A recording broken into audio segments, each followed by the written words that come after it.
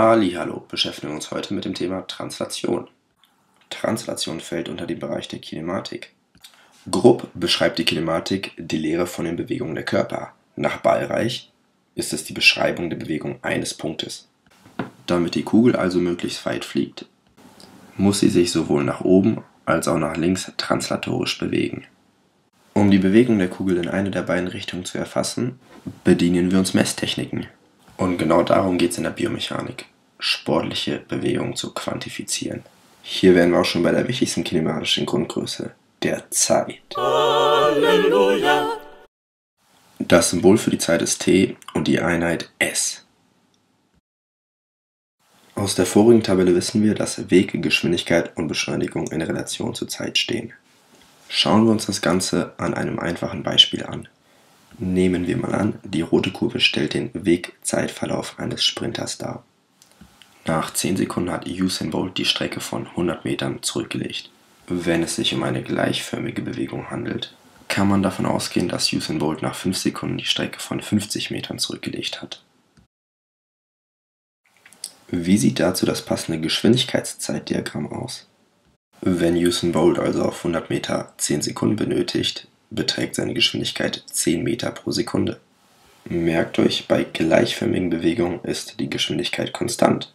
Und wenn die Geschwindigkeit konstant ist, welchen Verlauf hat dann wohl die Beschleunigung?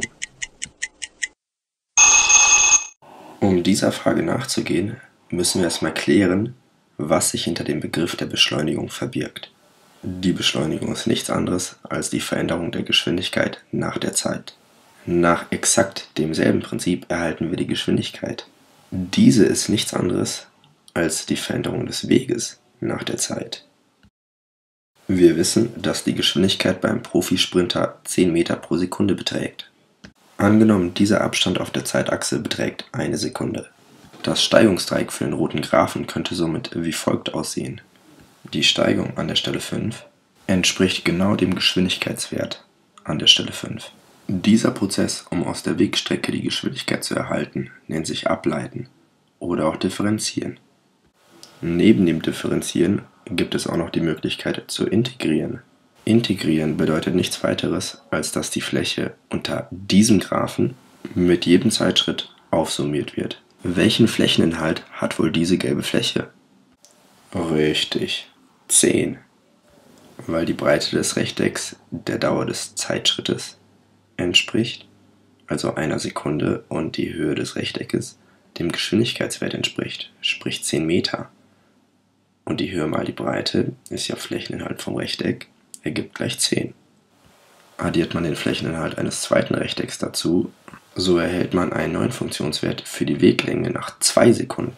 Da beide Rechtecke jeweils einen Flächeninhalt von 10 haben, ergibt die Summe 20. Wie schaut nun also unser Beschleunigungsgraph aus? Dieser hat an jeder Stelle den Funktionswert 0, weil zu keiner Zeit eine Veränderung der Geschwindigkeit zu verzeichnen ist. Die Steigung an unserem Geschwindigkeitsgraphen ist gleich 0. Der Geschwindigkeitsgraph liegt zu jedem Zeitpunkt parallel zur x-Achse.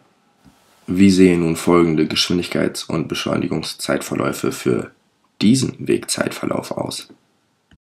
Unsere Geschwindigkeit ist negativ. Der Vektorpfeil zeigt somit in die andere Richtung, was so viel bedeuten kann wie, dass wir rückwärts laufen. Nach wie vor ist keine Veränderung der Geschwindigkeit festzustellen, was so viel heißt wie, dass wir dieselbe Beschleunigung haben wie vorher, gleich 0.